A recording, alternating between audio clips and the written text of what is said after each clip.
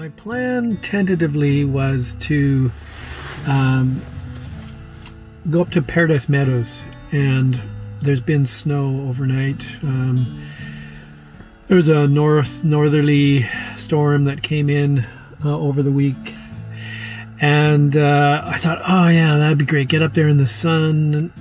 Uh, it's going to be beautiful, and it will be. I can tell looking up at the mountains. There's uh, um, you know, that frosting on all the trees, and it's pretty gorgeous. But the thought of driving up there and the uncertainty around how cold it is, whether I'm prepared, it doesn't put me in mind of the reason that I do landscape photography. So I've decided to come to uh, a kind of a secret forest I know of and um, just take my time. But of course, as I was coming down the road to where that forest is, I saw along the side of the road here uh, an area that's still in frost. And I thought, you know, it's kind of a seize the moment uh, opportunity. Um, right on the edge of the road here is cars going by, but I'm gonna get out and I'm gonna get out my vintage lenses I'm going to look for some, some bokeh, some sparkling in the grass opportunities, and just see what I get.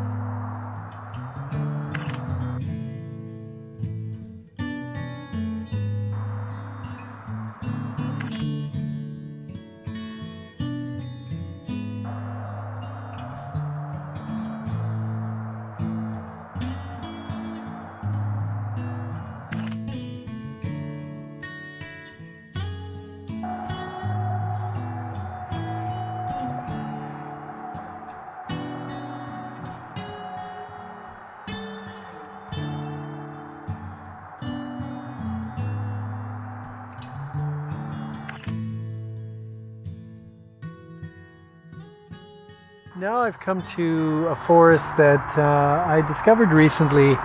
Um, it's right beside a highway, and there's no um, markings or anything like that. But it's uh, it's actually a relatively old forest. Um, some of the trees here are probably hundred years old, um, so I'm not sure why it's here and why it hasn't been logged yet. But uh, I'm enjoying it. For the time being until uh, it disappears like so many other forests here on Vancouver Island. Um, and today in particular, I've come to look for mushrooms and uh, the mycena mushrooms, the little mushrooms that stick up on the top of logs. Um, I've seen a few of them here. There's a stump nearby here, which uh, I really like. Um, I, I, tend to look at uh, some of these um, nursery logs um, and uh, sometimes along the top of those nursery logs is where I'll find those those lovely little mushrooms sticking up. I've noticed quite a few who are past today, so I have a feeling I might be doing a, a fair bit of hunting to find some in good in good shape. But you know that's part of the fun, isn't it? So, anyways, um, when I find something worth looking at, I'm gonna show it to you.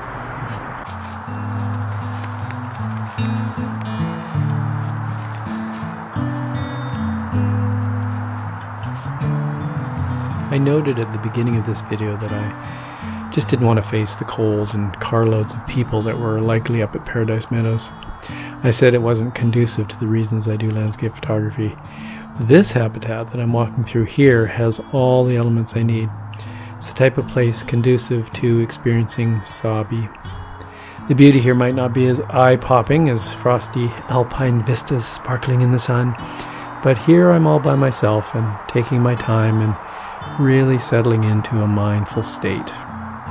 I'll talk more about Sabi in future videos.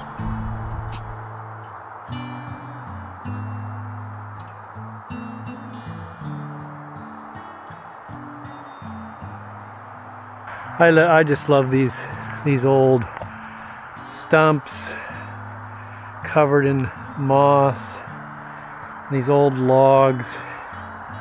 And in many ways, uh, there's a beauty in these old decaying logs that you don't find uh, in a younger forest. So just have a look at that, eh? That root cr creeping around the side of the, the log there. Absolutely gorgeous. And then in amongst the moss are these little mushrooms. Wow. I think I might have a portfolio shot here today. Um, came further into the woods. Um, I'm at a place where there's quite a bit of open space between the trees. Um, so there's lots of debris on the forest floor and lots of old logs with moss on them, which is exactly what I've been looking for. I was I've been taking pictures for probably an hour and uh, thought I was running out of batteries but I found one in my pocket that was still okay and so with my Sony a7R II and the IRIX Dragonfly 150 I have captured uh, an image that I think is is pretty special. Um, it's a mycena, one of the little uh, mushrooms that sticks up out of the logs. Um, it's framed the way that I like, but almost never am able to achieve, where there's moss in front of the mycena and then the green of the forest behind. And so the foreground and the background sort of are this blur of green and uh, and then you have the mushroom sticking up out of the middle of it. So I'll show you the uh, the setup here. It's pretty simple. I came around this log, and I was I was looking at that log right there, um, and as I came along, I could see one one on this log that runs in this direction, and so I looked along there, and sure enough, I found one fairly high on the log. I don't know that you'll be able to see it on here uh, maybe if I get down low enough, it's right up there towards the top of the log, right, right there. So I set up my camera and I'll turn it on here. Oh, you can see on there. So you can see that we get that beautiful. There's some, because of the sunlight, there's some uh, color in the in the sky, and so that leads color to the bokeh. There, I'm just focusing on on the on the mycena there, and I'll bump this up so you can see it. There you can see it in the middle of the of the frame. Pretty pretty wonderful shot. Um, two second timer bracketed. This will be too bright probably. Yeah. So when I'm doing this, I I zoom in with the magnifier right in on the cap of the mycena and I might even go, I don't know if that one will go, yeah, it'll go even closer. And I really do a fine focus in on that to make sure that it's really sharp. And I like to get the nearest edge. Oh, there we go. The nearest edge of the mushroom in focus. And then with the two second timer it'll stop any of the shaking three brackets beautiful I think I can actually even go darker on that. One of the nice things about the the large sensor in the A7R II is that low light recovery can be just amazing. Even though it was a sunny day, it was still fairly dark under the canopy. And that was one of the reasons that I purchased the Sony a7R II was to get that excellent sensor that's in that camera. It's a high megapixel sensor that allows you to pull lots of detail out of the shadows. And so here you can see as we zoom in on this image that there's a really lovely detail in the areas that are sharp and you don't have any noticeable noise in the bokeh. So I'm really pleased with this camera and I recommend it. I'm I'm feeling that lovely feeling you get after after capturing a, a beautiful scene like that. And then just to be here surrounded by all this green, something about greenness, I find anyways, that just is a balm for the soul. It really is. And it's very quiet here. I can hear the the uh, highway in the distance. I can hear some small birds too but they're uh, probably creepers and they're quite a ways away. So it's really lovely to have the forest to myself and just drinking in all the beauty. So I'm going to keep going. Uh, there are just bazillions of these mycena everywhere and uh, there's some mushrooms I, I don't recognize so I'm going to have to take some pictures just for identification and have a look in my books when I get home. It's a very interesting looking one over on the log over there. Unfortunately, it was really shady, so I don't think I got a very good picture, but um, I'm going to keep looking. You never know what you're going to find. Well, what a successful day that was. I have really enjoyed being out today. Beauty. Beauty is the thing that really does it for me. And these old forests, all this vanilla leaf starting to turn color, uh, dewdrops on things, all this moss. Oh my gosh, it's just gorgeous. I really do love it.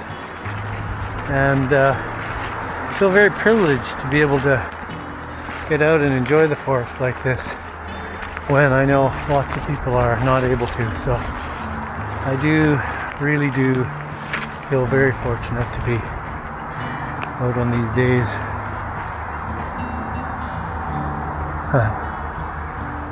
Such a beautiful place.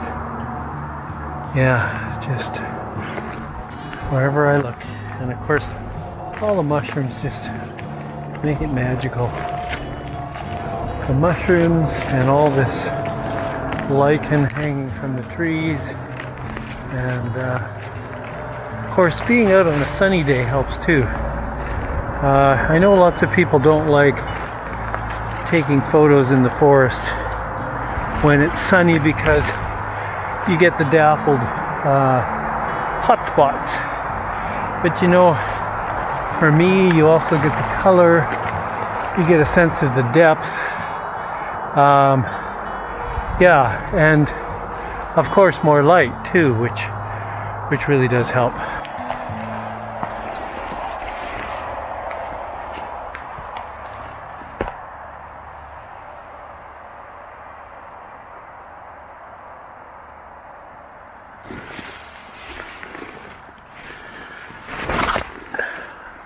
There's a test for the gimbal.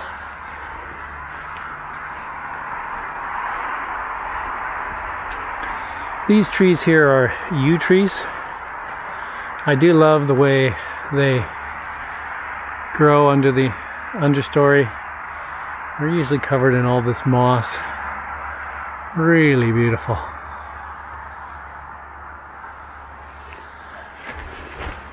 Very nice when the sun hits them as well. Here's a stump with a lot of little mycela Mycena. Do confuse those words. Mycena and mycelia. All the mushroom M words. Wow, what a forest.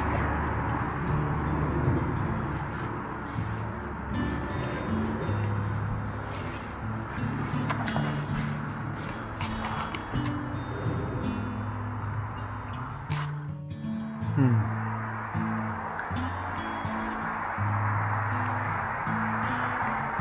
Making my way back to the car now. Just enjoying the smell of the forest. I can smell the moss. I can smell the fungus. Mm, I can smell the wood.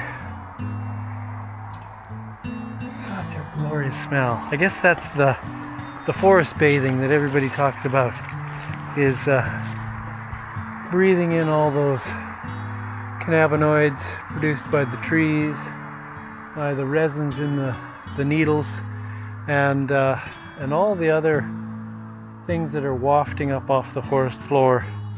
It's a glorious smell, and I, I can never get enough of it. Anyways, I hope your day is good and that you're getting out and getting some time in the wilderness for some photos, and we'll see you next time.